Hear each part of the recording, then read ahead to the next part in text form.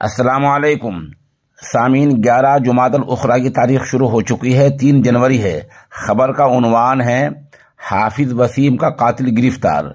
कातिल कोई और नहीं, बल्कि उसका ही साथी है, जो तंत्रिक का, अमल का तावीराता काम करता है। ये तस्वीर में आप जुब्बा पोस्ट देख रहे हैं, यह वो शैतान है, जिसने अपने साथी हाफिज वसीम को मौत की नींद सुला दिया है।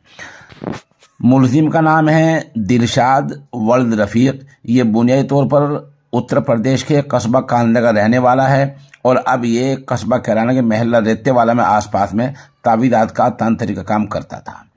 हाफिज वसीम का इसके पास बहुत आना जाना था। अब इसने दोनों के दरमियान कुछ पैसों का झगड़ा था। दिलशाद ने मुलजिम ने हाफिज वसीम को पानीपत से धोखा देकर बुलाया। बतला दूँ, हाफिज वसीम पानीपत के महल्ला इमाम साहब के रहने वाले थे। हाफिज थे, नेक आदमी था। इसको धोखा देकर बुलाया और किसी तरह कुछ लोगों के साथ मिलकर इसको कत्ल कर दिया। इत्तेफाक की बात यह कि कातिल यानी मुलजिम मोबाइल की लोकेशन से पकड़ा गया है और पुलिस ने इसको आज सुबह शुबे की बुनियाद पर हिरासत में लिया था। पहले पुलिस को गुमराह करता रहा, यूँ था, ये था, फला था। व्हाट्सएप पे मकतूल के भाई को भी गुमराह किया कि इसने हमारी लड़की को छेड़ दिया, इसने हमने मार दिया है। लेकिन मामला पैसों को लेन देन का निकला और पहले सबको मुगालता लग रहा था। ये असल में ये खुद गुमराह कर रहा था।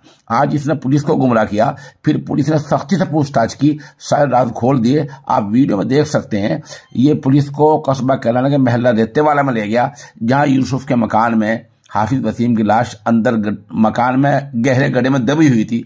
पुलिस के आदमी ने गड्ढा खोदा और वहाँ से लाश को निकाला गया। अब लाश को लेकर पानीपत पुलिस पानीपत पहुँच गई है। लाश को सरकारी अस्पताल में रखा गया है, जहाँ हाफिज वसीम का हाफिज वसीम की तिब्बी कार्रवाई चल रही है। उसके घर पर निहायत ही गमजदा माहौल बना हुआ है। इससे आप अंदाज़ा लगा सकते हैं कि किसको कौन कत्ल कर सकता है कुछ पता नहीं जुबापोश की आप शक्ल फिर दोबारा देखें। इसका नाम सुने, दिलशाद है।